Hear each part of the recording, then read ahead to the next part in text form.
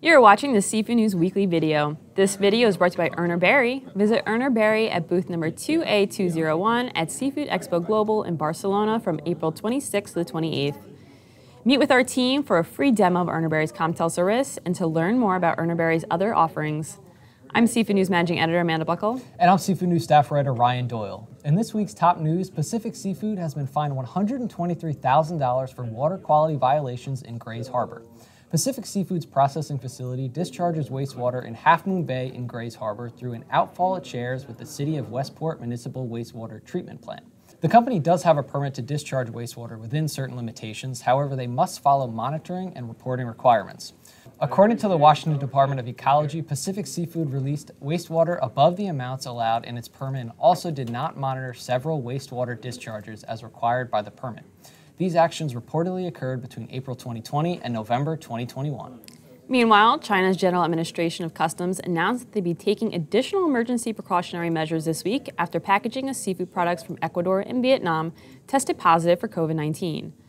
On Wednesday, 14 companies from Ecuador that export frozen Vannamei shrimp received suspensions ranging from 4 weeks to 13 weeks.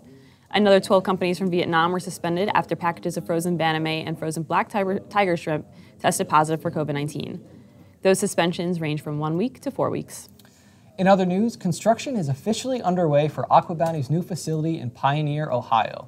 The aquaculture company announced on Wednesday that they celebrated breaking ground on the construction for their first 10,000 metric ton Atlantic salmon farm.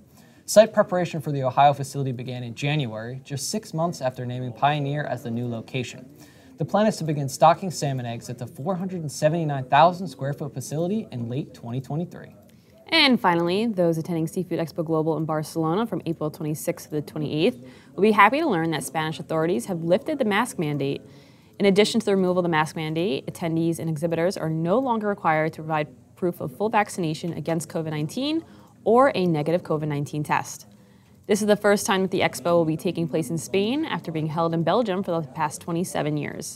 And while the event was canceled for the past two years, the 2019 expo attracted more than 29,000 buyers and suppliers from around the globe. Liz Plizga, Diversified's group vice president, said last month that the 2022 event represents 97% of the size of the 2019 event. And that's the guacamole. Subscribe to our channel below and don't forget to head over to seafoodnews.com or visit the Seafood tab in COMTELL for a comprehensive look at the latest market and industry news. And you can also listen to a new episode of the Seafood News podcast released on Spotify, SoundCloud, and iTunes every week. Thanks for watching, and we'll see you back here next week.